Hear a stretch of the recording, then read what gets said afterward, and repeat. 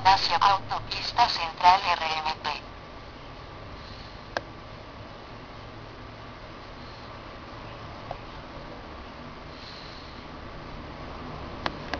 Tome la salida de la derecha hacia Autopista Central RMP.